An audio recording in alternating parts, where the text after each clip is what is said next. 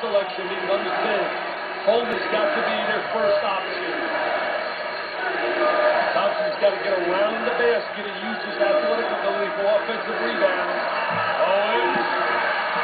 Martin. Pressured and fouled. Four-point Pitt cushion. Bobby Martin with four big free throws. That kid comes back and answers with a trifecta. Michael Edwards off the bench. 78-77. Owens four for 22.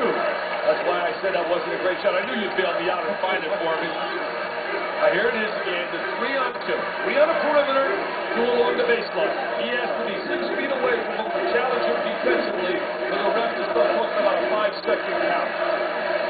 Notice how Thompson's away from him. Seven-second differential between the clock and the game clock. He likes to penetrate it and dish the ball. Right now, the guy you want to have it. Timeout call. Matthews. Stolen by Allen. Oh, here it goes. It's going to be all over. Thompson. Oh, what a play. What a defensive play. No timeout. Pitt without a timeout, we're told. Stop, stop. Boeheim wants to guard right now. They're going to use Coleman as a protector. Porter, they're going to get a shot.